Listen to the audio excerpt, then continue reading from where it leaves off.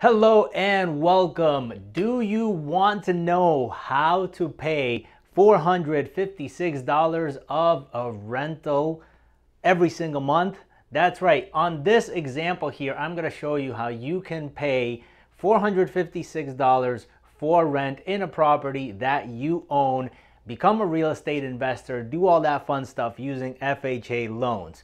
If you don't know who I am already, my name is Maksim Cruz. I am a real estate broker as well as a real estate investor. And back in 2011, my wife and I, we decided to delay our wedding ceremony in order to buy a four unit multifamily property where it cash flowed from day one. We lived rent free and, you know, it was just an amazing opportunity. And ever since then, you know, we've acquired more property and we've become investors and this has really been a passion of mine. So I wanted to share uh, a few properties with you, do the analysis so you could start to see this and start to, you know, do the analysis yourself and start to see that this is a real example. So uh, this is also a special series for my friend Denzel Rodriguez. If you don't know who Denzel is, just look him up uh, uh, the Finance Geek. He has a YouTube channel where he teaches velocity banking. I found Denzel through my search for velocity banking. And through that, uh, you know, we came up with a plan of how to pay off our real estate properties and other debts much, much quicker. And again, for all the Kingdom citizens, welcome. Thank you for watching this. Now, before I get started and jump into this analysis, let me just do a disclosure. Because I am a licensed real estate broker, this information that I am showing you is for informational purposes only. This is not investment advice. I always suggest that you check with your local investment licensed professional. Uh, and again, this is for informational purposes only. So let's get right into it. Uh, so try not to focus this number right here. We are going to go line by line. I'm going to explain everything to you as we go. So the property address is 120 Northeast 35th Street, uh, Pompano Beach, Florida 33064. MLS, MLS number R like Robert 105-48658. Uh, the property is currently listed at $424,000. And uh, also just another thing that I wanted to show you is the FHA limits. The FHA limits for Broward County for a two-family property is actually, I believe it's 478,000. So this property is below that and it meets those requirements. Again, if you don't know what I'm talking about, just go back to one of our my previous videos where I go through some of the terminology and you can see exactly what I'm talking about here as we go through these numbers. So the Description here is excellent opportunity for investors set up as three units, uh, three efficiencies, one larger efficiency, one water meter, two electric meters, corner lot.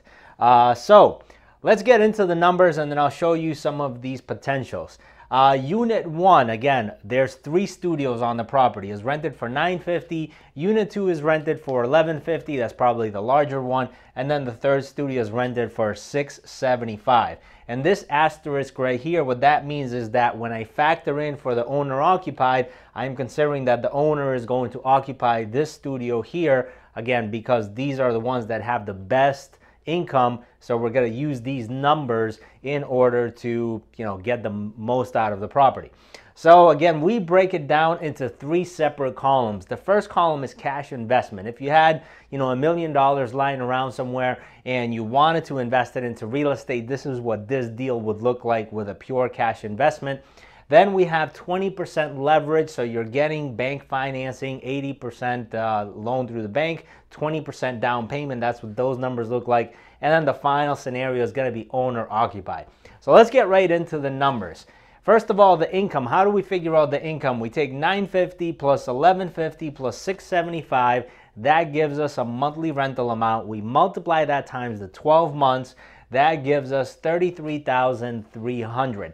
Now, typically, if this was a bigger real estate deal, you would have a vacancy factor. Maybe it's 5%, maybe it's 10%, and then you would subtract that, giving you the gross effective income. So again, in here, we're not considering that, so I want to start uh, getting you trained put, to put your investor cap on and say, hey, what are some of the additional items that I should consider? And let's let's keep on going.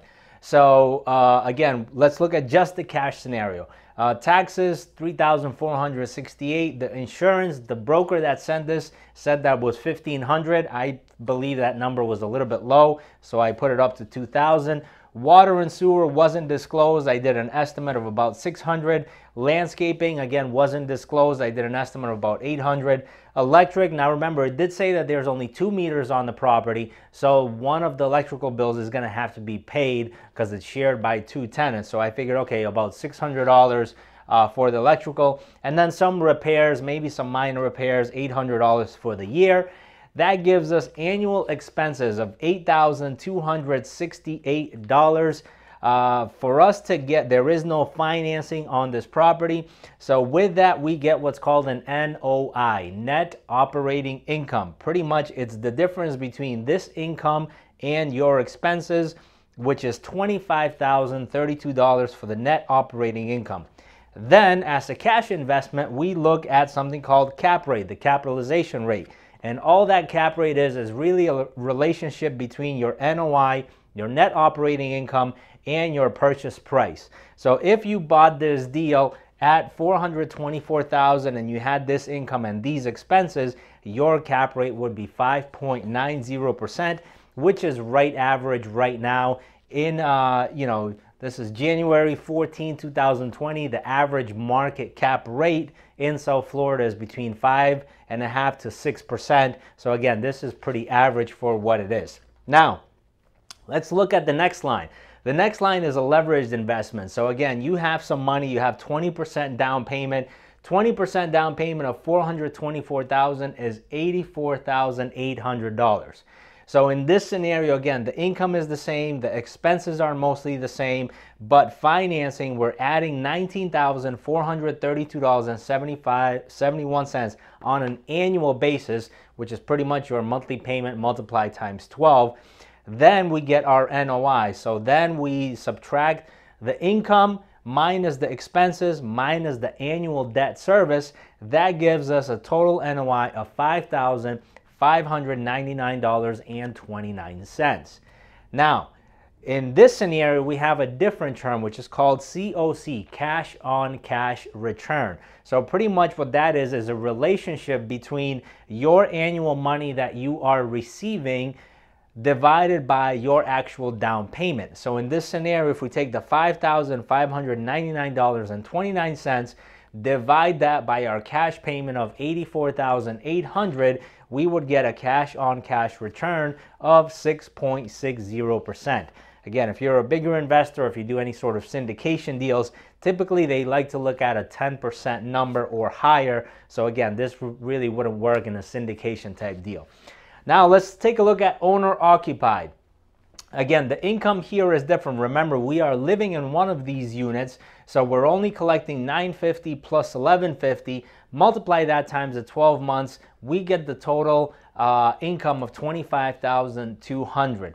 Then on the expenses, the landscaping, I figure, hey, you got to be living there, so you might as well take care of your own landscaping. And also the repairs, I made the number a little bit smaller, where previous to that it was 800. I made it 400, figuring, hey, you know, if something, you know, not major breaks, you could go ahead and, and take care of that. Uh, and then finally, that gives us the total expenses and we have the financing.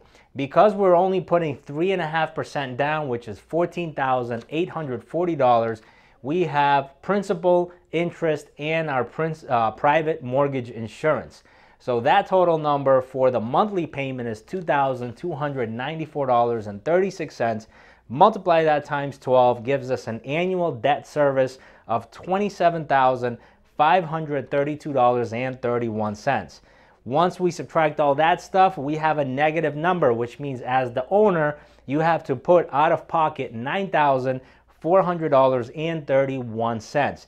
Now that might not be such a good deal because your monthly out of pocket is $783.36. You know, this studio is rented at 675 the market value is probably between 900 and 1000 so i figure okay well even if you were paying $900 in rent somewhere else now you're only paying 783 in your personal finances you have a monthly cash flow of $116.64. And again, for all of our Kingdom citizens, and if you understand velocity banking, you understand what this number means to you. Now, I do have a gift for you. So we actually have this uh, property analysis tool. It's a it's an Excel spreadsheet. It's actually in Google uh, Sheets, Google Docs. So you can go in there, download it, play around, put in your own numbers, look at different properties, analyze it. It's completely free. You don't have to enter your email address. You know none of that none of that uh, gibberish. You could just go in there, download it, and play around with the numbers and see what works. Now let's go ahead and take a look to see if I offered 384. And again, this is the value the re, uh, real estate agent brings to you. I am seeing other two unit homes in this vicinity selling for approximately you know, between the 350 to the 370 range. So even at 384 is a little bit higher than what the averages are. So, but let's see what that looks like. The other thing that we're doing is unit three the unit that the owner is going to occupy, we are saying, hey, in a cash scenario or in a leverage scenario, this unit right here, I'm going to bump the rent from 675 up to 900. So what's that going to do? That's going to increase our income where this scenario was 33,300. This scenario right here is 36,000. Our NOI uh, after that is 27,732 and the relationship between that number and the 384 price gives us a cap rate of 7.22%. This scenario right here was 5.90%, so you can see how the purchase price and the NOI changes our cap rate. Next, let's look at the leverage, right? 20% down.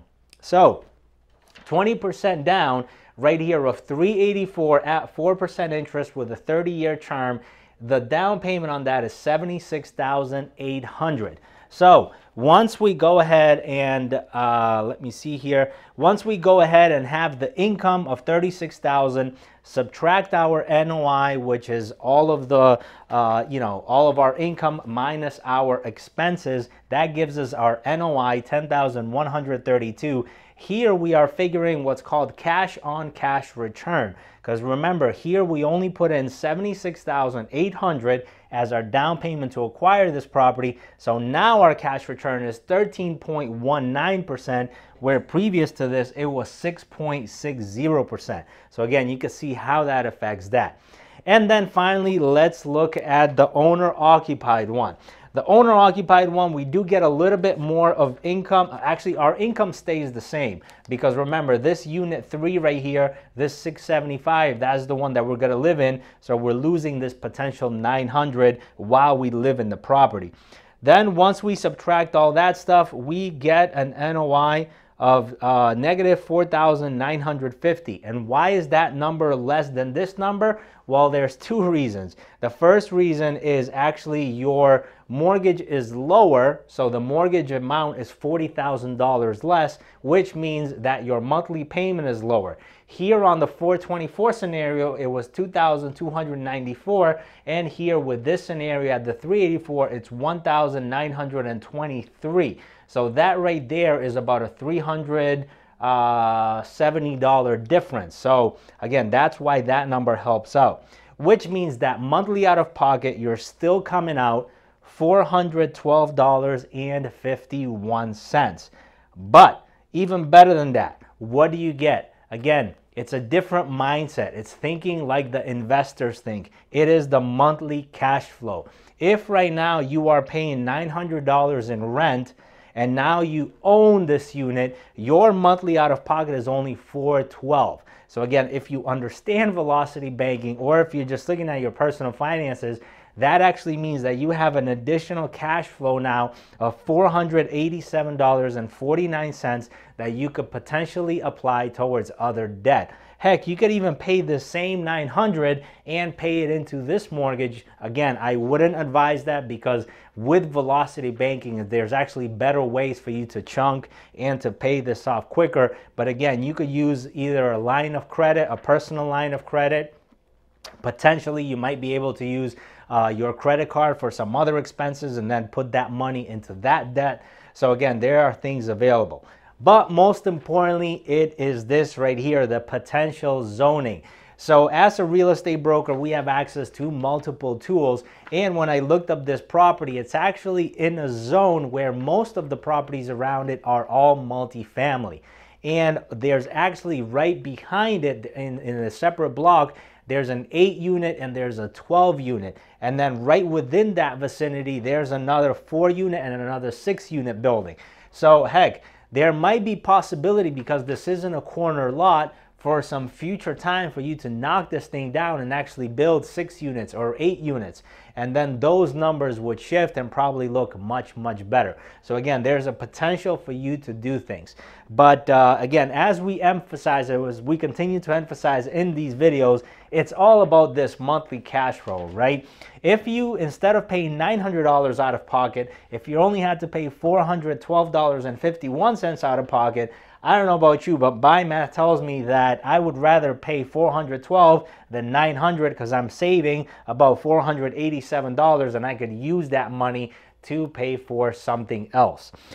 So with all of that said, again, go and grab your deal analyzer where you could plug in these numbers if you have a deal that you would like for me to analyze, I'd be more than happy to do it. You don't have to send me the address. You don't have to send me the MLS number. There's only three things that I need to know in order to analyze the deal. Number one, it's the list price or the offer price, whatever you're planning to offer. Number two, it is the income. So however many number of units and however much they're rented per month.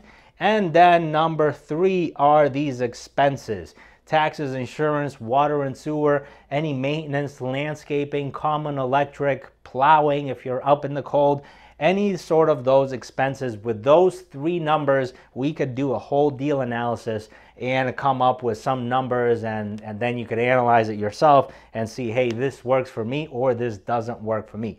So with all of that, um, again, I am a real estate broker for over 13 years and I've built a database of uh, qualified real estate agents all across the country who would be more than happy to help you do in any sort of these transactions. So if you're looking to buy a property or if you're looking to dispose of your property, you know, I'd be more than happy to set you up with a qualified broker who can help you analyze this deal, get you the maximum price if you're selling or get you the best offer if you're looking to buy the deal. And understand that again, this is listed at 424, but we can offer 384 because again as real estate brokers when I pull up the public records they bought this property close to 13 years ago for like $70,000 so again there is plenty of room for negotiations on this one I believe.